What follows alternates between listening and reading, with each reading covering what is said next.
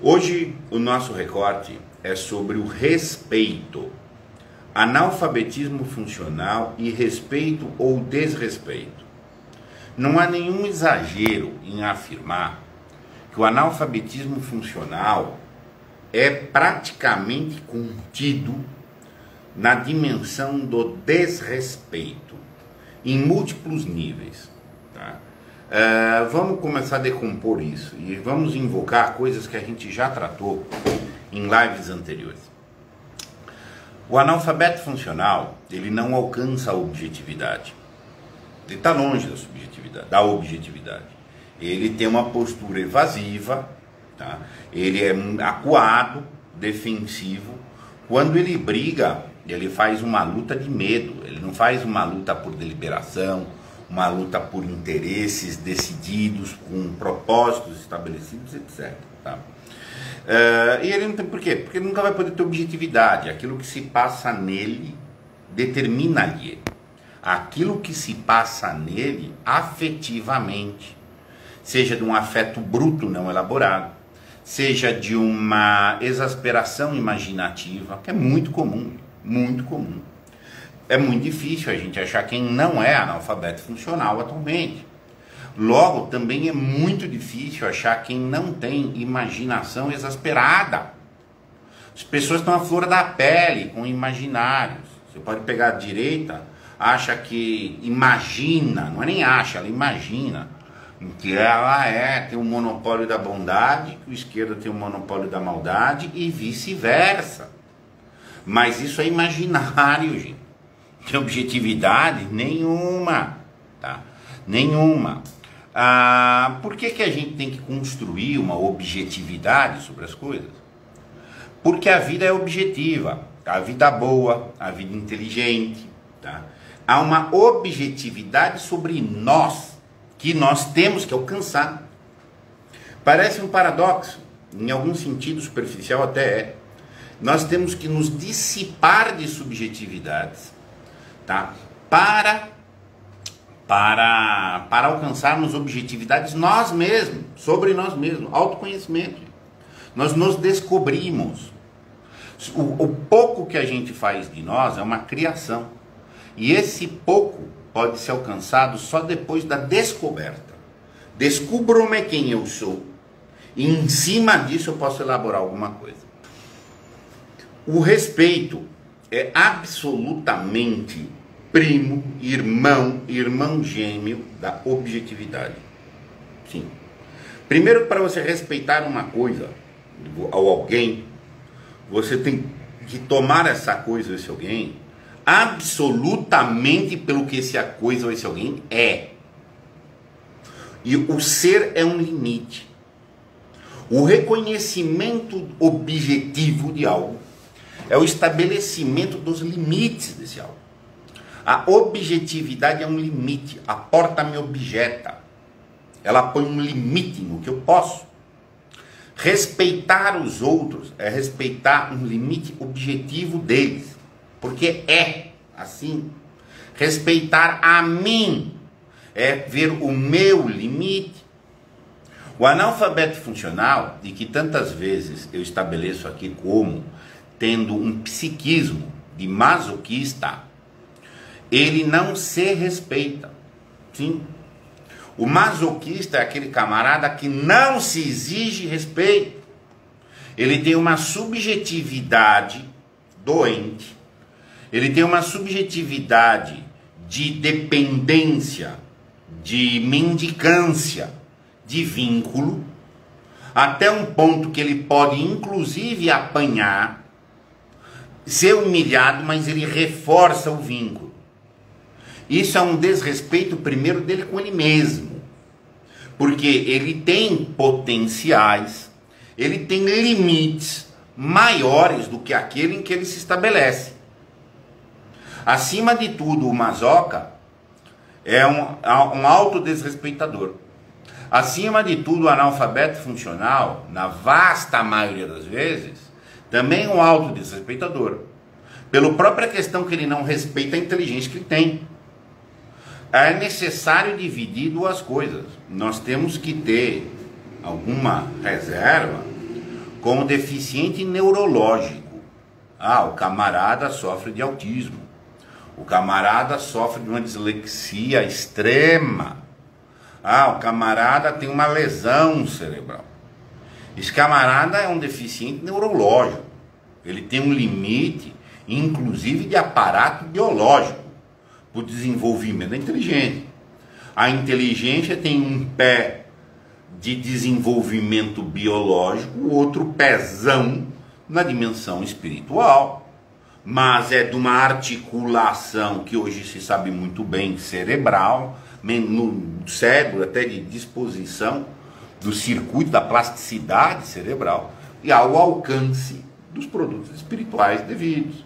Se a pessoa tem um problema neurológico, é um limite que você tem que respeitar. Ponto. Agora, não é o caso do limite objetivo neurológico e a pessoa não se desenvolve, seja intelectualmente, seja psiquicamente, afetivamente, etc. Você está diante do que se chama deficiência mental. Nos, isso em termos precisos. No sentido vulgar, nós chamamos deficiente mental que é neurológico. E como, como que o que não é o. Como, como se um fosse o outro. O neurológico é uma coisa precisa. Gente. O mental, o cara tem potência cerebral, tem potência de afeto, mas fica ali.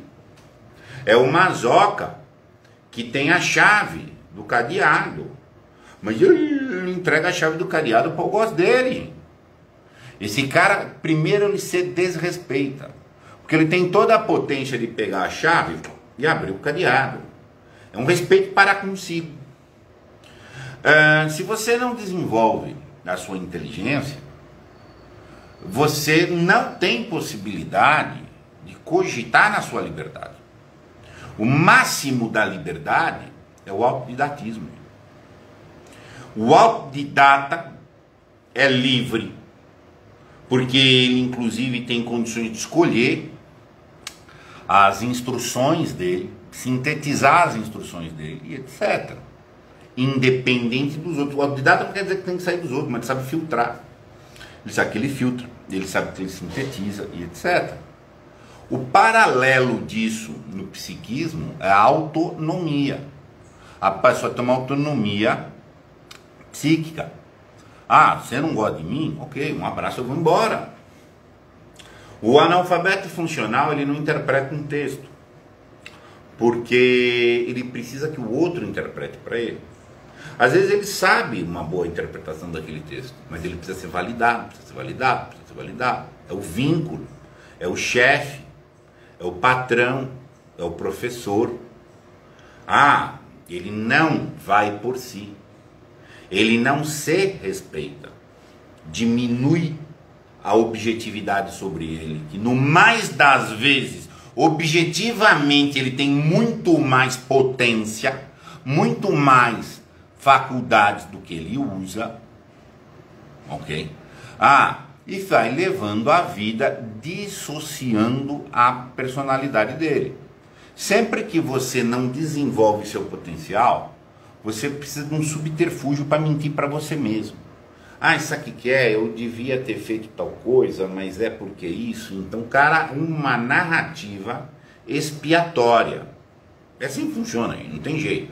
Se você não fez a entrega absoluta dos seus potenciais, da sua vocação, você está arrumando subterfúgio para enganar primeiro você mesmo que você não pôde crescer. Tá? Então você primeiro não tem respeito consigo. Ah, o pessoal acha muito que o masoquista é um coitadinho e que o sádico é um maldosão.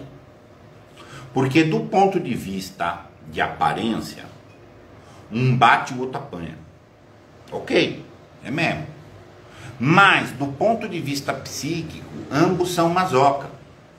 Porque ambos dependem do vínculo. Quando o cara não se respeita, necessariamente, não vou dizer necessariamente, é muito provavelmente, vai escapar um desrespeito, vai ser transferido esse desrespeito para fora. Tá? Mas não tem a menor dúvida. Isso aí você aposta no, em 99% das vezes vai acertar. Vai ter um caso ou outro, talvez não, mas 99% das vezes vai, vai acertar. O cara vai desenvolver uma revolta, vai desenvolver um ressentimento. O recalque, por quê? Porque ele vai perdendo objetividade. Na medida em que você vai se dessensibilizando com o desrespeito para consigo, tá? a sua sensibilidade vai alterando. Se o camarada numa relação afetiva vai tomando patada, mas ele vai acomodando, vai criando narrativas que vão justificando o injustificável, ele fica ali, tem uma disposição de desrespeito dele, porque ele não se opõe com outra coisa. Isso vai para a inteligência. Porque a inteligência, a, a inteligência bem desenvolvida, ela estabelece uma maior lucidez sobre a objetividade das coisas e como você respeita as coisas. E isso chama postura de humildade. Ah, mas está vendo os arrogantes, os rebeldes sem causa, os soberbos. Ah, universitário bradando que ele tem a solução do mundo, isso é soberba. Hein? Isso é uma puta manifestação de impotência. Isso é uma imensa manifestação de desrespeito contra si que está fazendo papel de palhaço. Está fazendo papel de palhaço em vez de estudar objetivamente, mas quer ter ardor. O ardor é um descontrole de nós sobre nós mesmos. É nesse nível de coisa que a gente está falando. E aí não tem jeito, tá? Ah, o desrespeito multiplica. Tá?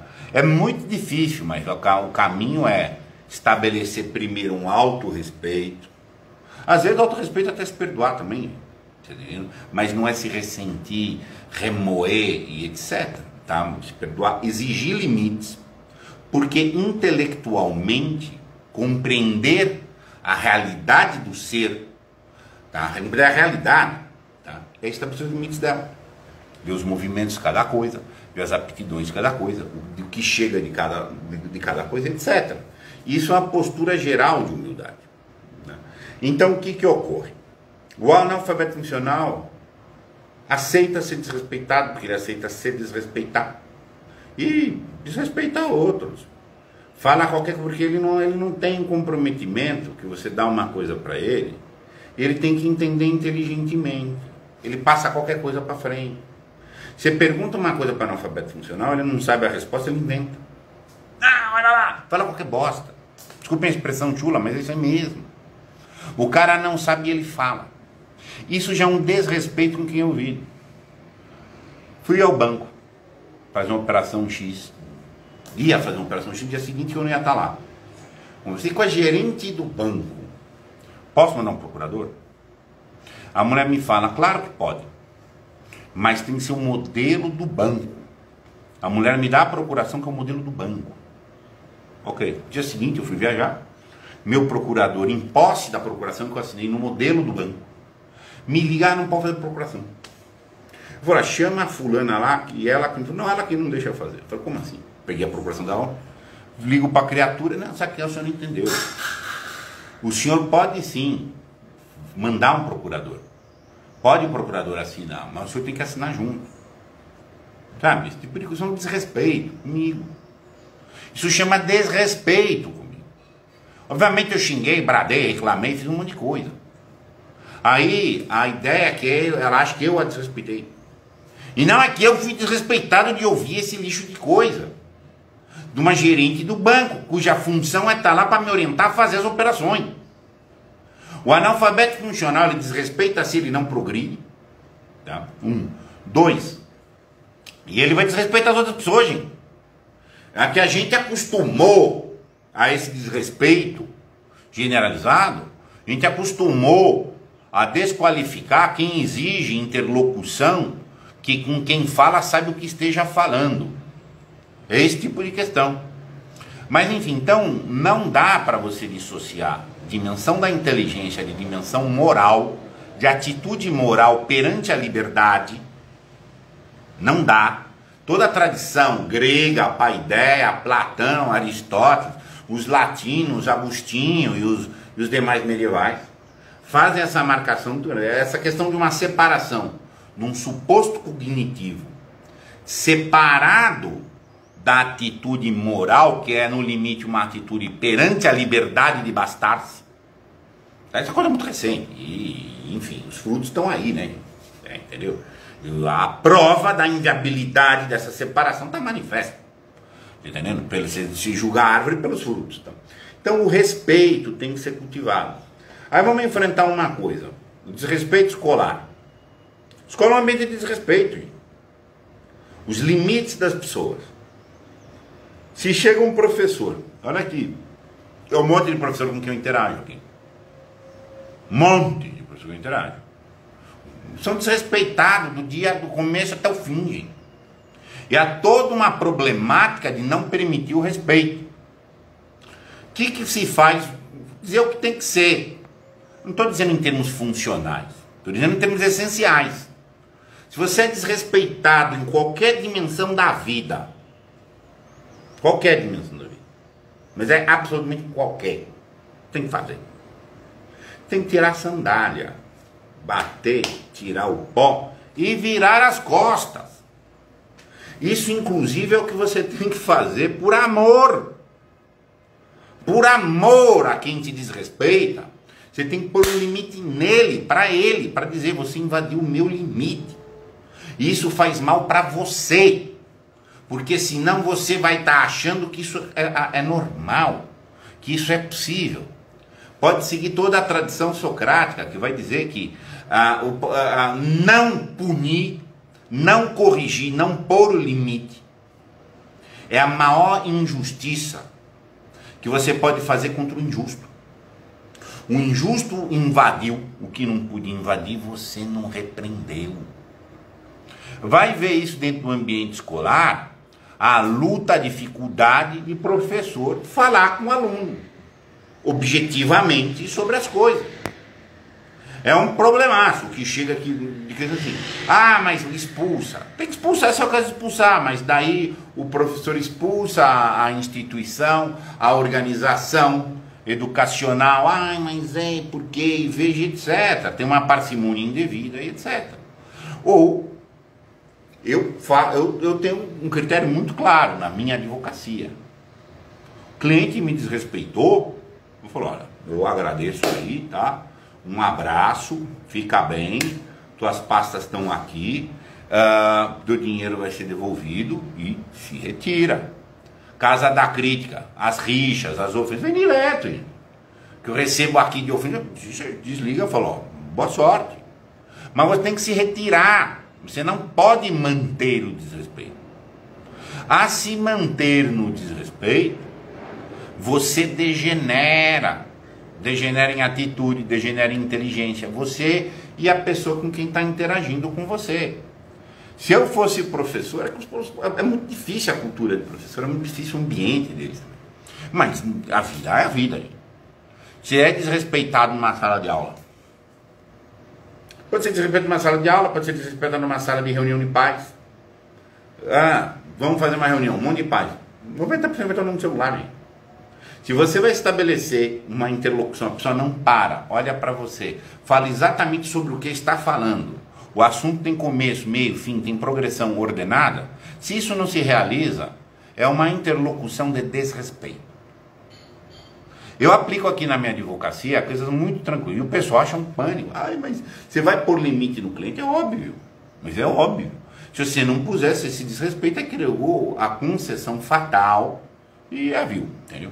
Mas é tem que fazer isso se um professor chega numa sala de aula e a gazua está generalizada além do razoável. Retira. Tem uma obrigação consigo. Acontece que os professores, ah, tem uma estrutura burocrática em cima. Peita, vai parar na justiça. Falam, olha, então os senhores me demitam por justa causa, deu um motivo, abre processo, eu vou abrir processo. Mas a questão é objetiva. Ah, você vai falar com alguém que diz, tem que retirar. Uh, inclusive nos casos extremos de amor. O amoroso, muito amoroso, pode se submeter a muito desrespeito em favor do amado. Perante terceiros, nunca perante o amado. Eu vim trazer amor para você, tá? Ó, é amor. É meu e eu tô dando para você isso aqui. Você me desrespeita, eu retiro o meu amor e levo para outro lugar. Mas o desrespeito não é aceitável. É uma violação da regra do amor para consigo, inclusive com o interlocutor. Agora, eu me desrespeito, eu aceitar até ser humilhado por aquele, por causa desse, pode até ser outra coisa. Mas agora, perante o amado, não pode existir. Se você tem, relação, tem uma relação de professor, uma relação de autoridade de ensino, que você vai ensinar, você for pai. O pai não pode aceitar o desrespeito do filho. De forma nenhuma. Hein? Fala, olha, então eu só sou teu pai, tá? Não sou teu sábio, não sou teu mazoca. A porta tá ali. É assim que funciona. Se assim não funcionar, viola-se a regra do respeito, viola-se a regra da inteligência, que é a objetividade o limite, e a humildade devida. Como saber se eu sou ou não analfabeto funcional? Às vezes é muito fácil de saber, às vezes não. Eu costumo, em duas, três frases, a estrutura frasal de alguém é muito relevante. Eu estou há muitos anos estudando esse assunto. A articulação da sintaxe me conta muito, gente, muito toda a estrutura de que a pessoa, pela qual a pessoa vê, se tem anacoluto, se não tem anacoluto, se tem ordenação, coordenação etc. Isso é um nível mais profundo. Tá? Mas o melhor jeito de você ver, a maior parte do caso, dos casos de analfabetismo funcional é por causa de embaraço psíquico. A forma mais fácil de identificar analfabetos funcionais é uma desordem nas relações de autoridade.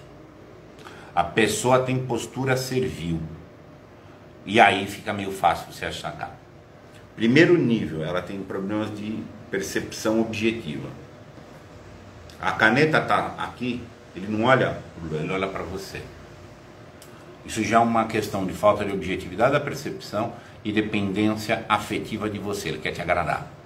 Mais do que dizer se a caneta está ali ou não. Esse é o primeiro jeito de saber o cara é analfabeto funcional não. Ele é idiota. Idios fechado em si. Aí tem a expressão como ofensa, mas o termo de idiotia é isso. A segunda questão, segunda forma muito eficaz, que é da imbecilidade. Tá? O... A imbecilidade, ele pega tudo literalmente, muito literal, mas é absolutamente literal. É o analfabeto funcional. Tá? Essas são mais fáceis tá? de você perceber. Isso é cognitivo, mas é um efeito do psíquico, que é uma desordem da relação de autoridade, onde vai ter o problema da um problema da do respeito que a gente está falando. Se você tem autorrespeito, você vai ter provavelmente, manifestamente provável, você vai progredir. A maior obstáculo à progressão é a falta de autorrespeito. Isso mesmo. Ah, o cara tá 10, 20, 30, 40 anos no mesmo lugar. Fazendo a mesma coisa. Os mesmos vínculos. A mesma mentalidade. Tá no rotinão. Absoluto. Até as piadinhas do cara são as mesmas. Esse cara não se respeita, ele não progride. O respeito, você, o primeiro jeito de você saber se você está cuidando do seu respeito é se há uma expansão.